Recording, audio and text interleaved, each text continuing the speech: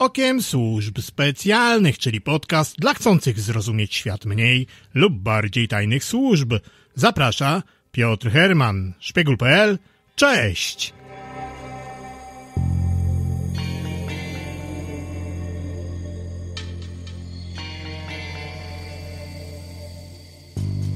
Kryptonim Brzoza. Dziś audycja typu standard, w której opowiem o sprawie Stanisława Brzozowskiego, zdradzonego rewolucjonisty i nawróconego przed śmiercią, w młodym zresztą wieku, katolika.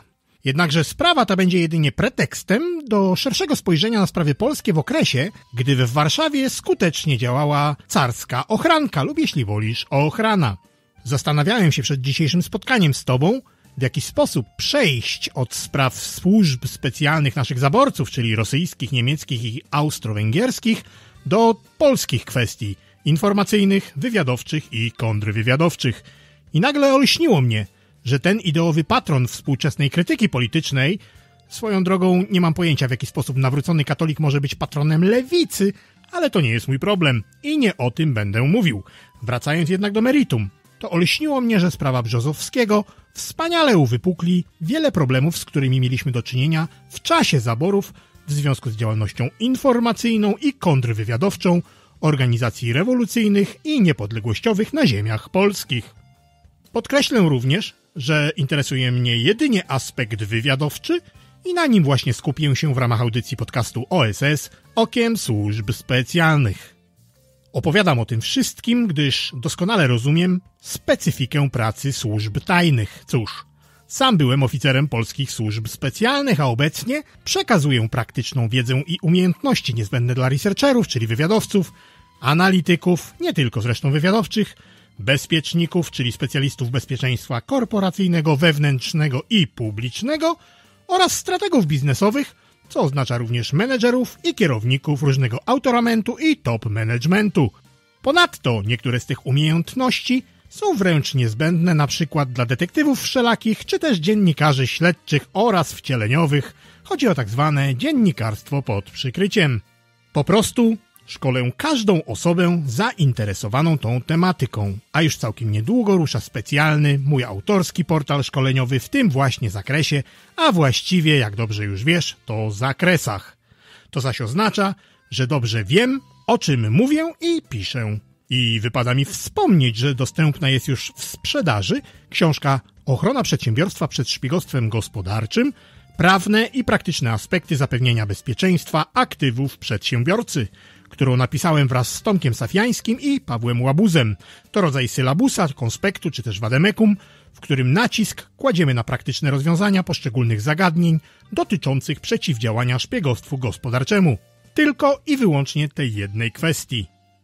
Nie zapomnij również zerknąć na szpiegul.pl Intelligence Blog, gdzie koncentruje się cała moja działalność i dostępnych jest już niemal 100 artykułów dotyczących działalności służb mniej lub bardziej tajnych. Aby nie umknęło Ci coś istotnego, to proponuję, byś zasubskrybował newsletter i zupełnie przy okazji odbierzesz mojego darmowego e-booka, mojego, czyli mojego autorstwa, w którym przeczytasz o środkach i metodach pracy radzieckiego wywiadu wojskowego w latach dwudziestych XX wieku. I to byłoby na tyle, jeśli chodzi o sprawy blogowe. Zaczynamy!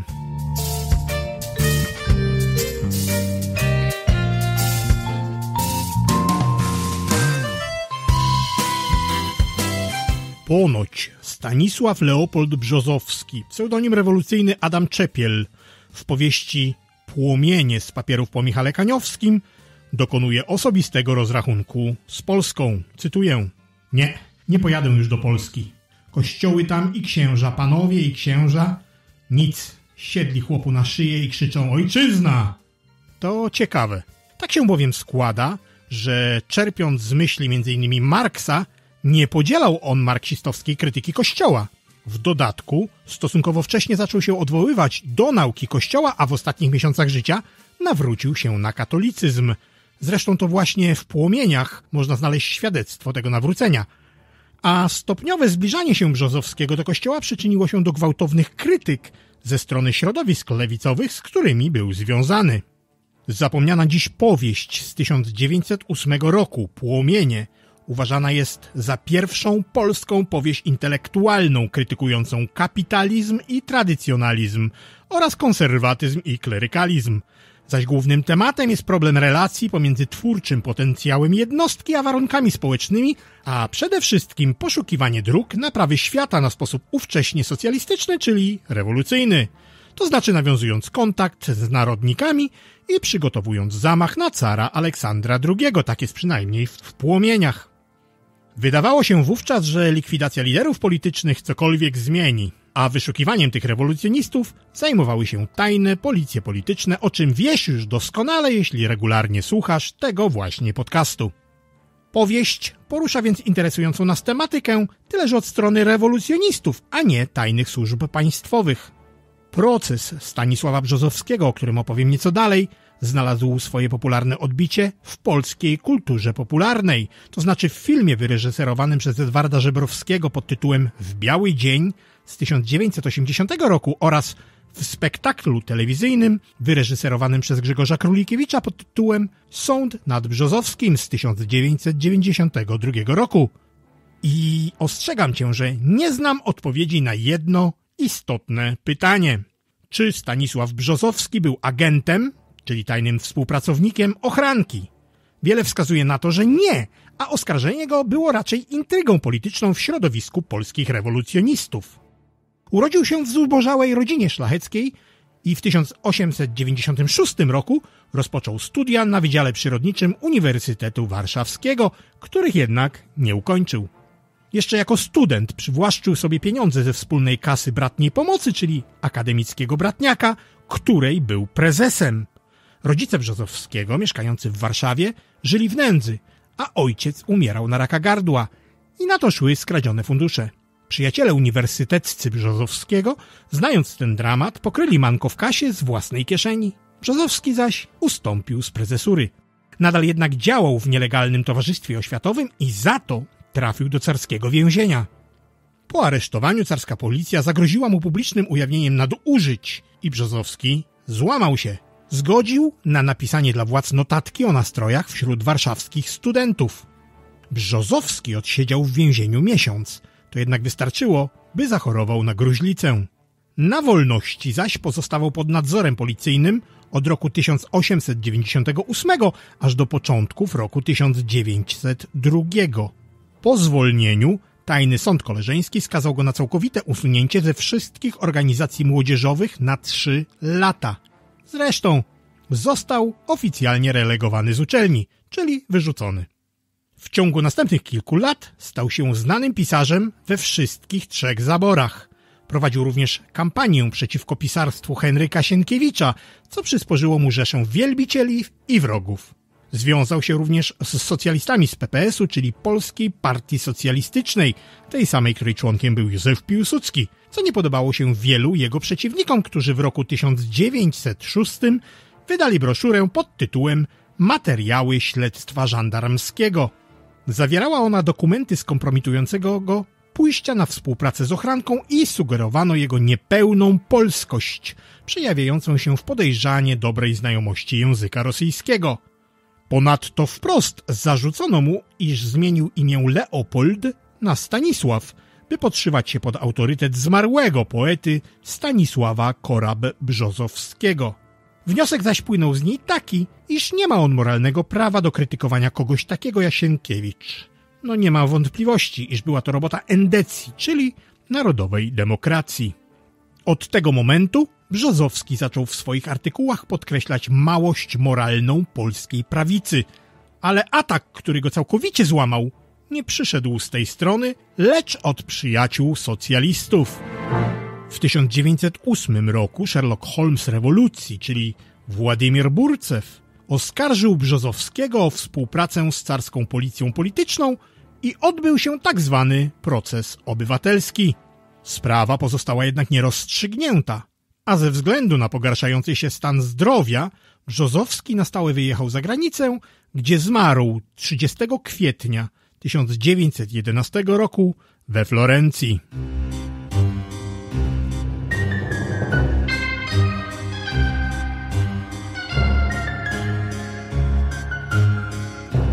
Opowiadając o polskich służbach informacyjnych, wywiadowczych i kontrwywiadowczych, musisz zrozumieć, czym w świadomości ludzi tam żyjących była kongresówka, czyli ta część państwa polskiego, która znajdowała się pod zaborem rosyjskim. I ponownie wyjaśniam, że chodzi mi jedynie o aspekty pracy tajnej, konspiracyjnej i specjalnej. Po roku 1815, czyli gdy skończyła się już Napoleoniada, to znaczy wojny napoleońskie w Europie, a już po utworzeniu Królestwa Polskiego na Kongresie Wiedeńskim, stąd nazwa Kongresówka, Warszawa była miastem spokojnym i dobrze strzeżonym. Ówczesną miejską straż policyjną tworzyło zaledwie 150 żołnierzy pieszych oraz 50 konnych. Kilka razy w roku dokonywała ona tzw. Tak rewizji generalnych ludności, w wyniku których zatrzymywała osoby bez policyjnych zaświadczeń oraz włóczęgów, zapędzając ich wszystkich do robót publicznych. A tajna policja inwigilowała Warszawę w coraz większym stopniu. W ten sposób stawała się ona coraz mniej skuteczna tam, gdzie była potrzebna. Dowód?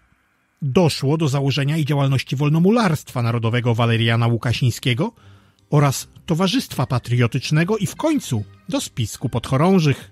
W dodatku policja, za przykładem tutejszych żandarmów, zajmowała się głównie sprawami intratnymi, to znaczy takimi, dzięki którym można było otrzymać łapówkę lub zagarnąć czyjeś mienie.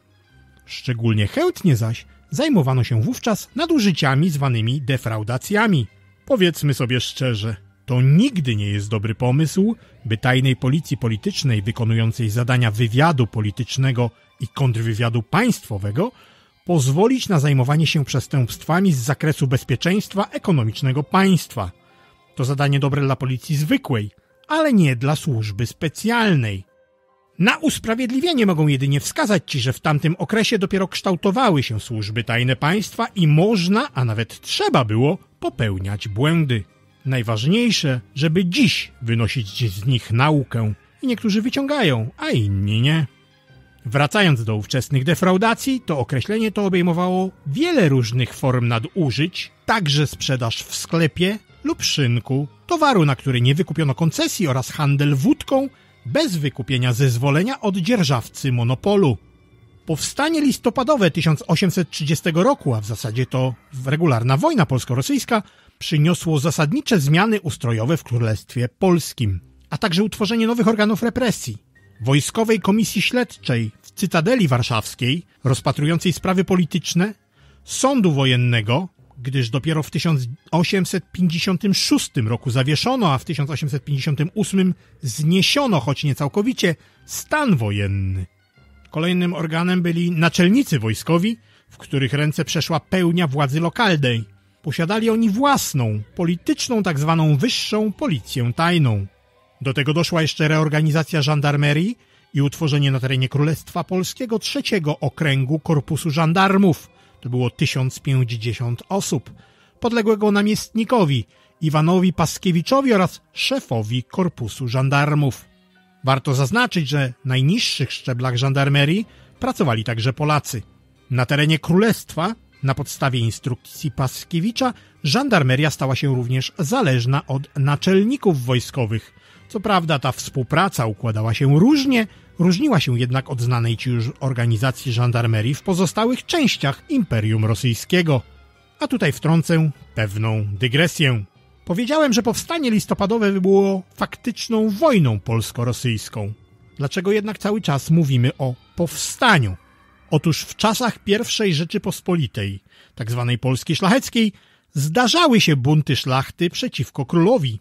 Zwano je rokoszami, na przykład rokosz marszałka wielkiego koronnego Mikołaja Zebrzydowskiego przeciwko królowi Zygmuntowi III Wazie w latach 1606-1607. Ponadto również w tym samym XVII wieku zaczęto zawiązywać konfederacje, czyli związki żołnierzy, powstające w wyniku buntu z powodu niewypłacania żołdu. Powstawały więc oddolnie. W XVIII jednak wieku słowo konfederacja zmieniło swoje znaczenie. Nadal był to związek militarny, ale powstający odgórnie. Był to spisek magnacki. Najbardziej chyba znany to Konfederacja Targowicka, tak zwana Targowica, zawiązana w porozumieniu z carycą Katarzyną Wielką. Zwróć proszę uwagę, że nie ma w historii niczego takiego jak Rokosz czy Konfederacja Kozacka. Za to są wojny kozackie. Wojny prowadzone przez polskie wojsko w polskim państwie, w którym panował elekcyjny, ale jednak król. Kozacy zaś występowali jako odrębna grupa etniczna z terenów Ukraja, stąd Ukraina, Rzeczypospolitej Oborga Narodów i Rosji, czyli z księstwa ruskiego. Ukraina to księstwo ruskie. Kozacy próbowali sobie wykroić własne państwo i nie byli poddanymi króla polskiego. Ja wiem, że to duże uproszczenie, ale teraz nie mające większego znaczenia. Musieliśmy mieć wojnę, a nie rokosz czy konfederację.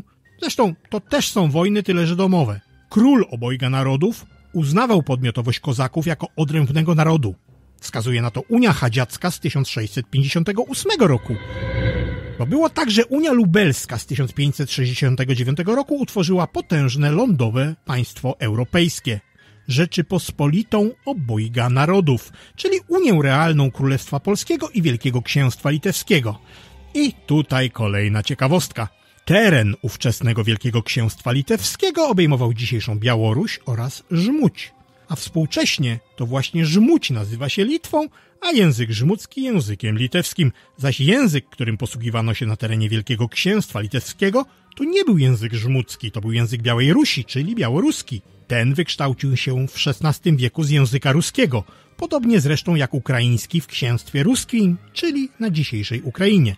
Trzy wieki wcześniej, czyli w XIII wieku, ze wspólnego języka ruskiego wyodrębnił się najpierw język Moskali, czyli rosyjski, od zagwostka. Dziś można tylko z żalem myśleć o tym, jak potoczyłaby się nasza historia, gdyby Unia Chadziacka, o której mówiłem, doszłaby do skutku. Powstałoby supermocarstwo, Rzeczpospolita Trojga Narodów. Lecz Rosja przeciwdziałała skutecznie i Unia nie weszła realnie w życie. Wracając, to z punktu prawnego widzenia, w 1830 roku władcą Królestwa Polskiego, które zwane było kongresowym lub kongresówką, tytularnie i realnie królem polskim był car imperator Rosji. To było odrębne państwo połączone z Rosją osobą monarchy, czyli tak jak Polska i Litwa do czasów Unii Lubelskiej. Spisek podchorążych i późniejsze walki zbrojne z wojskiem rosyjskim formalnie nie mogą być nazwane wojną, gdyż poddani władcy powstali przeciwko niemu. Wojsko Królestwa Polskiego wypowiedziało posłuszeństwo swojemu władcy. To jest powstanie, to nie jest wojna. Wróćmy jednak do naszej opowieści. Po wybuchu powstania styczniowego w 1861 roku całą władzę ponownie przejęło wojsko rosyjskie. W 1866 roku odrębność Królestwa Polskiego uległa likwidacji. To już nie było odrębne państwo.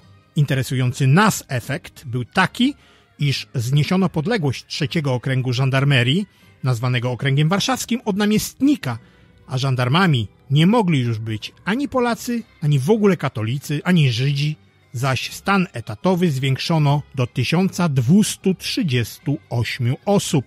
A w 1881 roku powstała ochranka. I resztę tej historii znasz już całkiem nieźle. A jeśli nie, to przesłuchaj wcześniejsze audycje podcastu OSS Okiem Służb Specjalnych.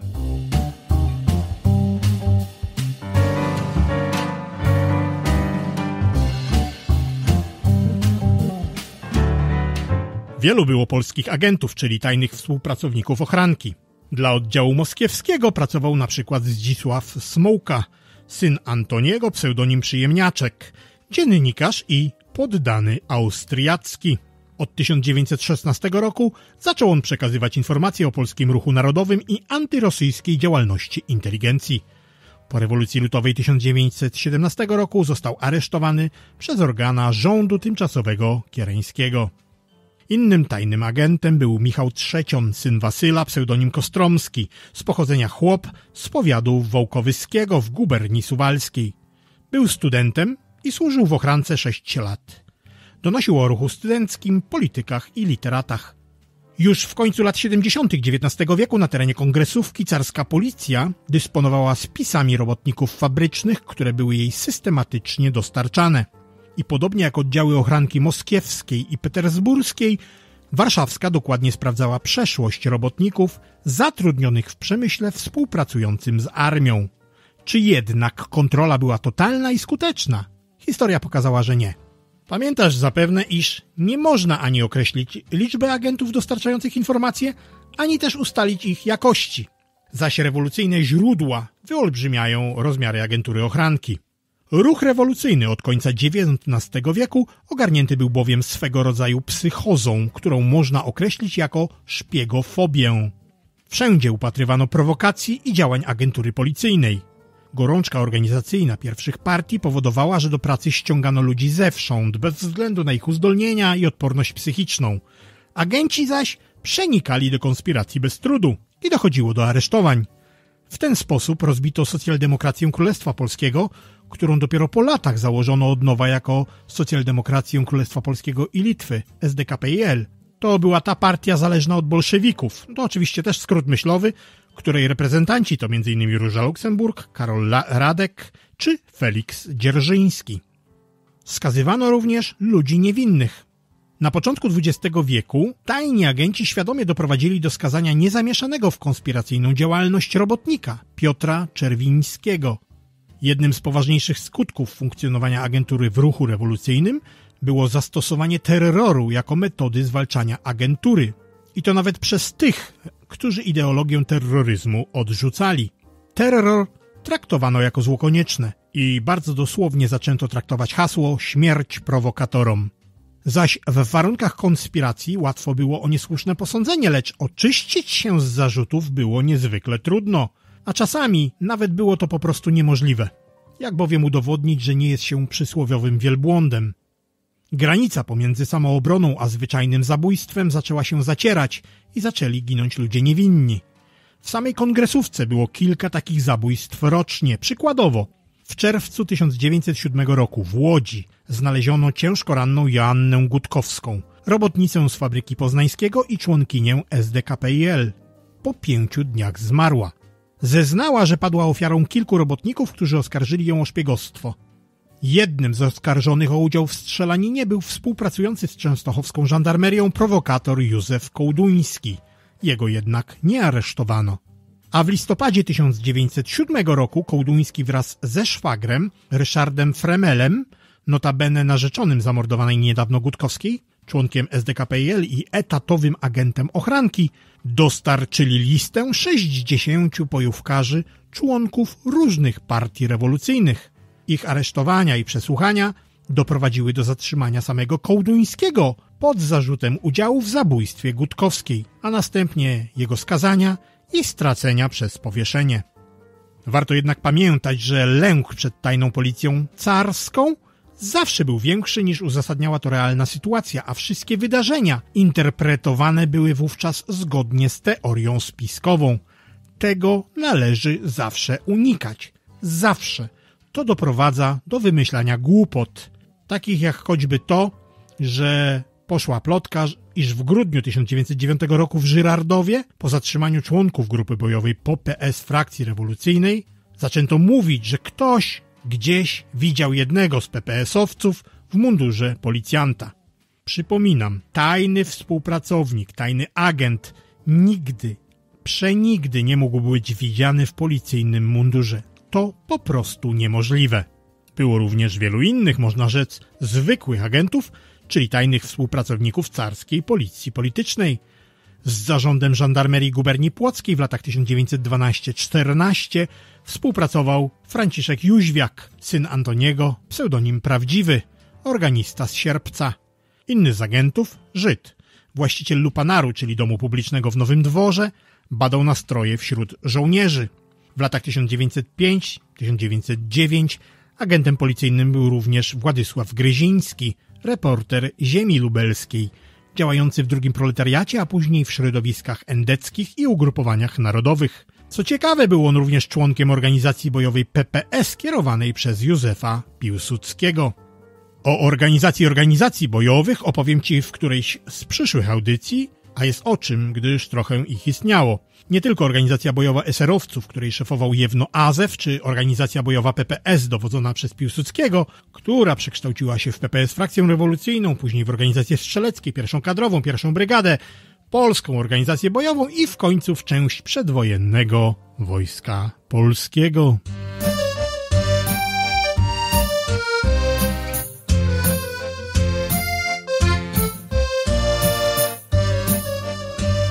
Opisałem ci, w jakich warunkach żyli i działali Polacy w kongresówce.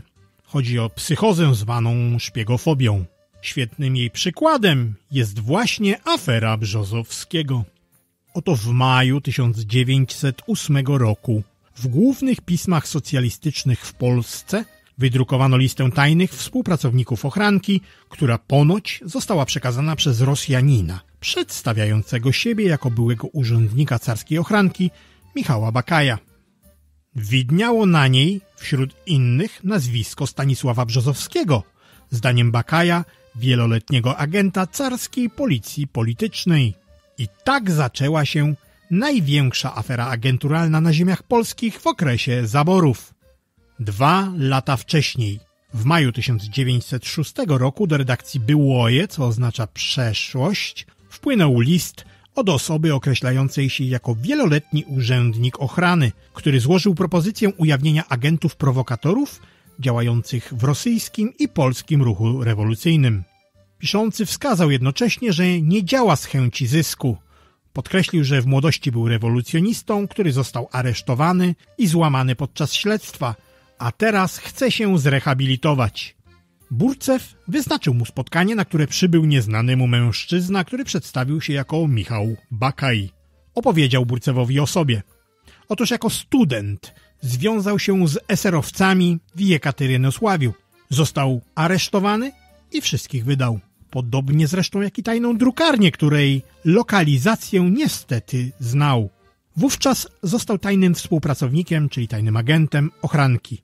Szybko został jednak zdemaskowany i zaproponowano mu ukadrowienie, czyli oficjalnie został urzędnikiem carskiej tajnej policji. Pracował dobrze i w 1903 roku przeniesiono go na stanowisko urzędnika ochranki do zleceń specjalnych przy warszawskim oddziale. Wkrótce Bakaj dostarczył Burcewowi opracowanie odsłaniające zakulisową rolę policji w zorganizowaniu pogromu Żydów w Siedlcach i sporządził pokaźny wykaz tajnych współpracowników działających w polskich organizacjach rewolucyjnych.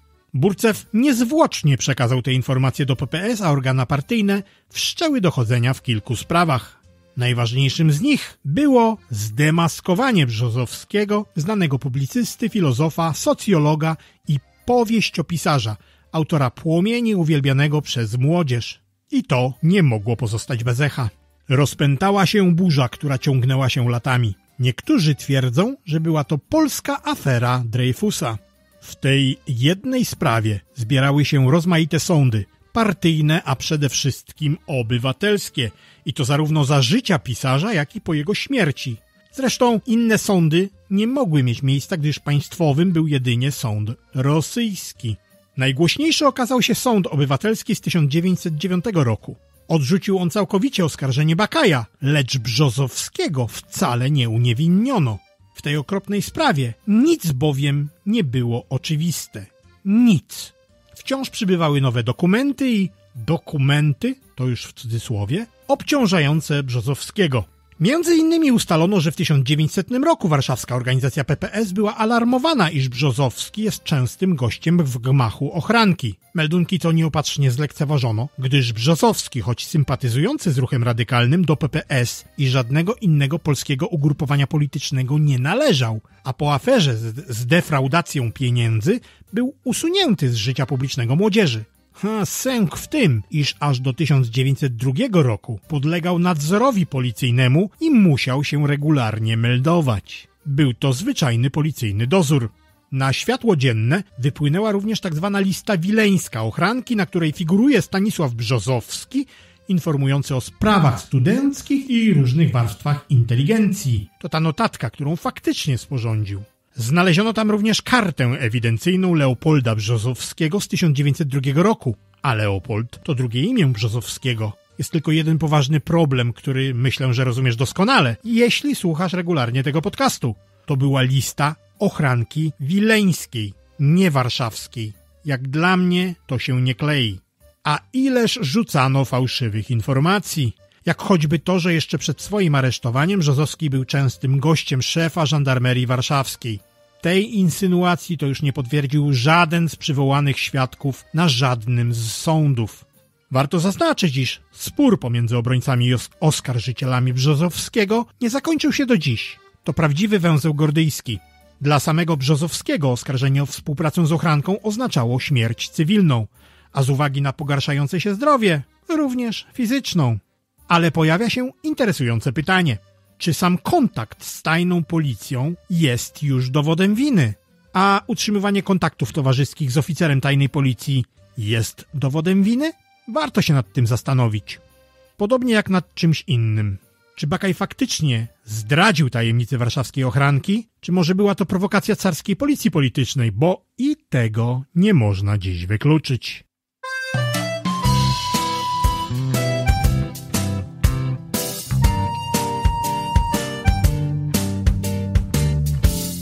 I na dziś byłoby to na tyle. Jak widzisz, w świecie służb i organizacji mniej lub bardziej tajnych niewiele jest spraw w pełni pewnych i wyjaśnionych. Nie przez przypadek Józef Piłsudski, przemawiając w 1927 roku na zjeździe legionistów w Kaliszu, powiedział Agentury jak jakieś przekleństwo idą dalej bok w bok i krok w krok. Moi panowie, gdybym wziął za temat tę prawdę, wybrałem ją rozmyślnie i nie dlaczego innego, jak dlatego, aby postawić kropkę nad i, aby nie było powiedziane, że my musimy menażować prawdy agentury. Polskę być może czekają i ciężkie przeżycia. Podczas kryzysów, powtarzam, strzeżcie się agentur.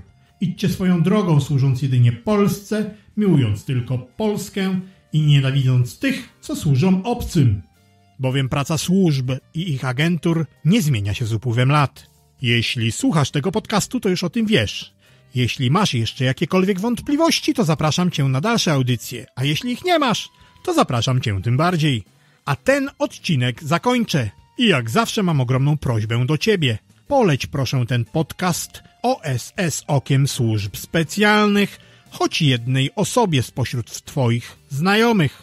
Jednej. Ciebie to nic nie kosztuje, a w ten sposób dotrze on do wszystkich zainteresowanych. Jeśli zaś nie chcesz przegapić niczego z tego, o czym opowiadam na temat służb mniej i bardziej tajnych, to zasubskrybuj newsletter na stronie szpiegul.pl.